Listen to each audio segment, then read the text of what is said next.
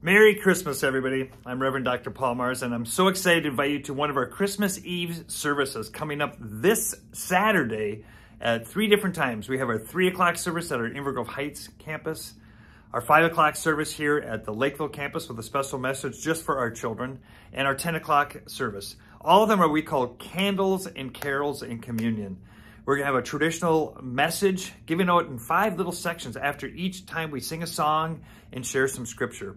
And at the end, we'll close with communion and singing Silent Night. It's going to be an amazing time where we connect with Christ and connect with each other. And don't forget, we have those special treats, the cocoa bar, the apple cider, all the treats are out there. And it's going to be an amazing time for families. So come to one of our experiences, either at Lakeville campus at 5 or 10, or and uh, our Inver Grove Heights campus at 3 o'clock. You will not be disappointed. It'll be a time to connect with Christ and others. I look forward to seeing you there.